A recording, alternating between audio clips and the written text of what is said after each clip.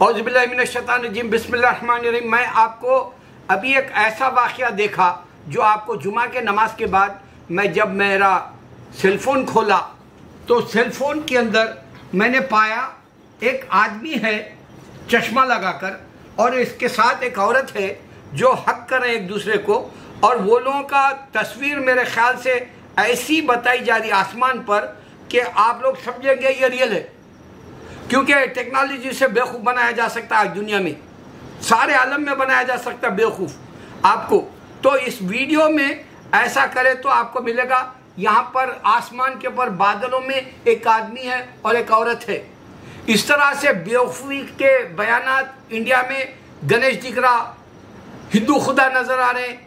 इससे पहले इंडिया में बादल के जो नक्शे बना लेते अपने ख्याल से इमेजिनेशन से वो इस तरह से बहुत ज़माने से चले आ रहा। लेकिन अब टेक्नोलॉजी से ये बात सामने आ रही। तो इसमें जीसस भी नज़र आ रहे हैं बोलेंगे, इसमें क्रिश्चियनिटी का भी मैसेज है बोलेंगे। इसमें अब जो ये इंसान मर्द और औरत को बताए तो ये लोग देखना चाह रहे कि ऐसा बेवकूफ़ इंसानों को बना सकते। टेक्नोलॉजी से आसमान में एक आदमी है, एक औरत है। ये अभी जो है वो नशर हुआ। मैं देखकर आपको इस वास्ते बता रहा हूँ सूर्य अल कहफ पढ़ना जुमा के दिन, खास करके। और रोज सूर्य अल कहफ की दस आयतें शुरू की और आखिर की पढ़ने, क्योंकि दज्जाल आ गया। इस वास्ते ये दज्जाल की निशानियाँ हैं। इसका रूप मोदी में है, इसका रूप जाय बाइडन में इसका रूप अब नया आने वाला जो है इसराइल का प्रेसिडेंट में भी ये चालीस साल का है वो।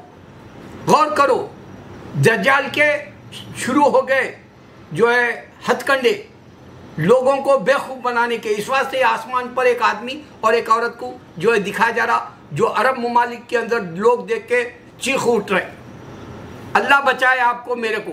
अब सिर्फ़ अल्लाह को समझने के लिए बता रहा हूँ कि इंसान देख रहा और सुन रहा, अल्लाह का ये कलाम और ये पैगाम समझना ज़रूरी है। आप सबसे पहली अजान हो रही पूरी दुनिया में चौदह साल से।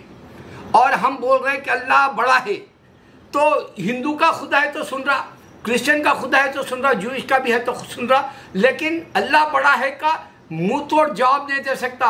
जैसे हम मुसलमान इंडिया के अंदर मोदी गवर्नमेंट को गिरा नहीं सकते बिल्ली की गर्दन में घंटी कौन बांधता है, वो वाली बात चल रही वहाँ पर। एक से एक जो है हिंदू लीडर घनावने गुनाह से जुर्म करते हुए साबित हो रहे तो भी हम कुछ नहीं कर सक रहे। तो अल्लाह बड़ा है, एक गौर से सुनो। यह सुनना ज़रूरी है। अल्लाह देख रहा। सिर्फ़ अल्लाह ही जो है तुमको यह बता रहा कि इंसान लड़ लेगा। अल्लाह ही बता रहा कि इंसान मिल के नहीं रहेगा। अल्लाह ही बता रहा इंसान खतलो गारत गिरी करेगा। अल्लाह ही बता रहा कि सिवाय कुरान के कोई और किताब डायरेक्ट आपको दुनिया में नहीं मिली।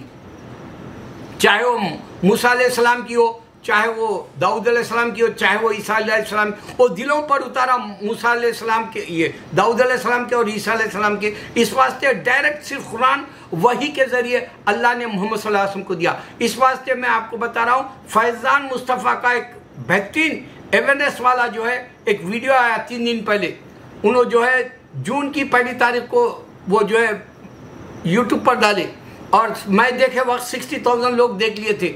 और उनको शेयर करो, बोल रहे हो वो बहुत अच्छा वीडियो है कि वसीम रज़ी, सैयद वसीम रजवी जैसे को सबक दे सकते हैं, क्योंकि वसीम रज़ी सुप्रीम कोर्ट को भी नहीं मान रहा, जबकि उसको मुजरिम कहलाया गया। सुप्रीम कोर्ट पचास हज़ार का फाइन भी डाला उसको, और वो जो उसका, जो भी उन्हें मुकदमा दायर करा, सुप्रीम कोर्ट में उसको निकाल दिया गया।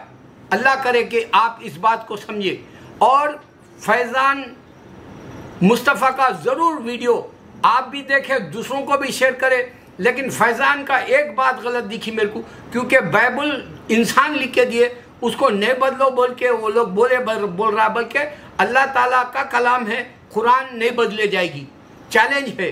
लेकिन वो लोगों ने बाइबल को हज़ार बार बदल दिए।